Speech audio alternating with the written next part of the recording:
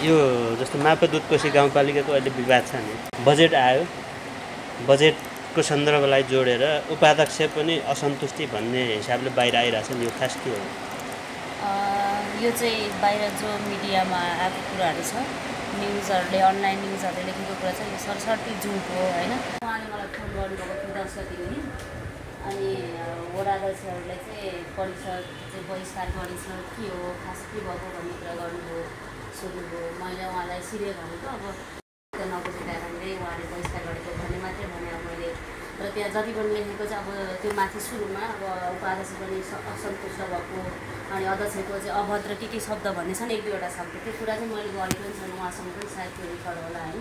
अब बजेटको विषयमा आर्थिक वर्ष पच छत्तर सतहत्तरको बजेट विनियोजनको विषयमा गाउँ कार्यपालिकाको चाहिँ जो बजेट सीमा निर्धारण समिति हुन्छ समितिमा अध्यक्षज्यू संयोजक सदस्यमा म लगायतका अन्य कार्यपालिका सदस्यज्यूहरू हुनुहुन्छ।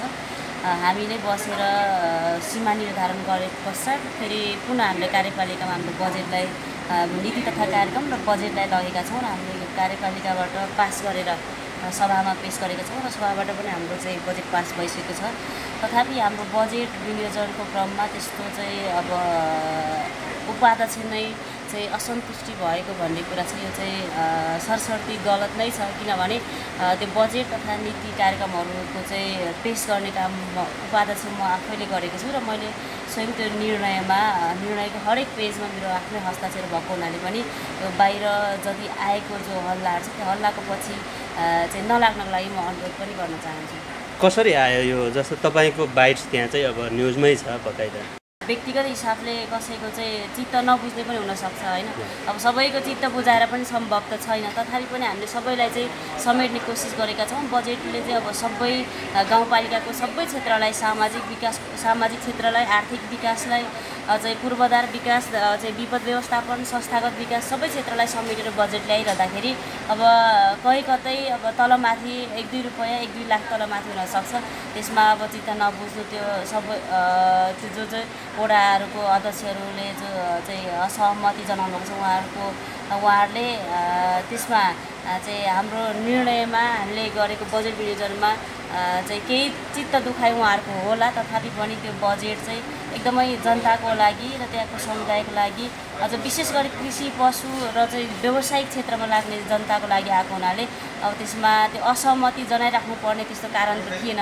तथापि उहाँहरूले असहमति जनाइरहँदाखेरि पनि समग्र गाउँपालिकाको जनताको लागि नै गएको हुनाले जनताको चाहिँ जनतामुखी नै बजेट आएको चाहिँ हामीले आकलन गरेका छौँ।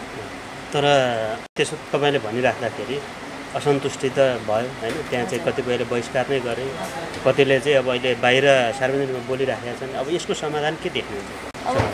यसको समाधानको लागि स्थानीय सरकारको सबभन्दा महत्त्वपूर्ण अङ्ग गाउँसभा जस्तै गाउँ कार्यपालिकाहरू छ होइन? अब यसमा भोलि हामीले अब त्यस्तो चाहिँ जति बाहिर चाहिँ न्युजमा असन्तुष्टिको कुराहरूमा बुदावाइज आएको छ त्यो पनि एकदमै तथ्यहीन नै छ। किनभने जस्तै त्यहाँ चाहिँ कति अध्यक्ष उपाध्यक्ष कोषको नब्बे लाख बजेटको कुराहरू आएको छ होइन? अब नब्बे लाख अध्यक्ष उपाध्यक्ष कोषको आर्थिक अघिल्लो आर्थिक वर्षमा नब्बे लाख बजेटै थिएन बजेटै विनियोजन गरेको थिएन कसरी नब्बे लाख भयो होइन?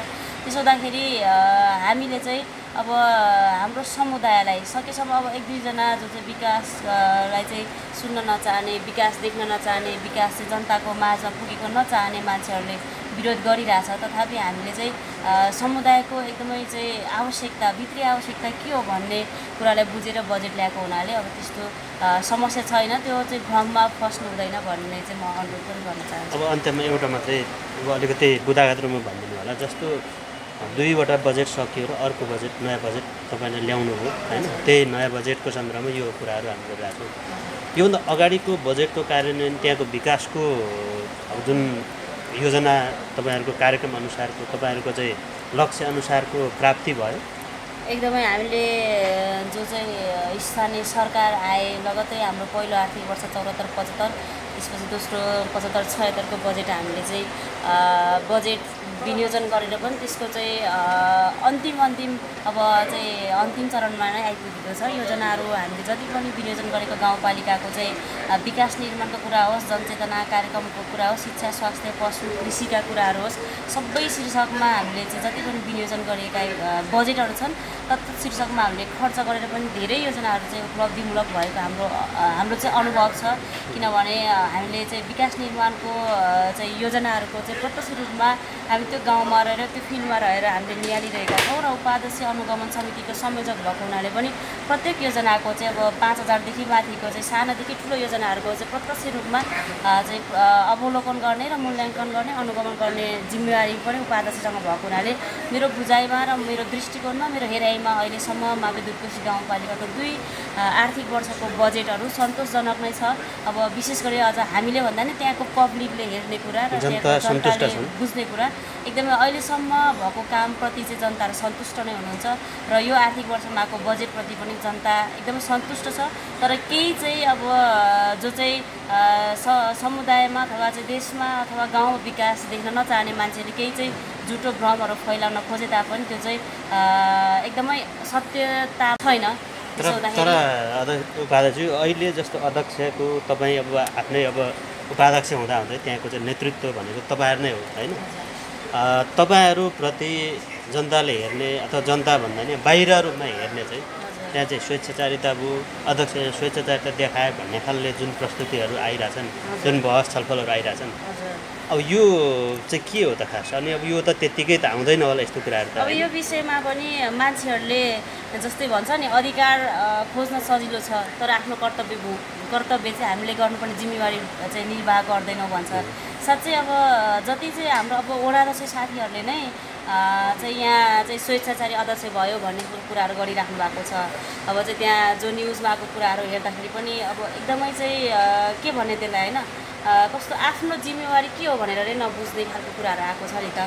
अब जस्तै योजनाहरूमा अब चाहिँ अध्यक्षज्यूले आफ्नो मान्छे राख्यो अध्यक्षज्यूले चाहिँ यति भ्रष्टाचार गर्यो भन्ने कुराहरू आएको छ तर त्यसको चाहिँ प्रत्यक्ष रूपमा सबैभन्दा पहिला योजनाको सबैभन्दा नजिक रहेर अनुगमन गर्ने वडा अध्यक्षहरू हुनुहुन्छ।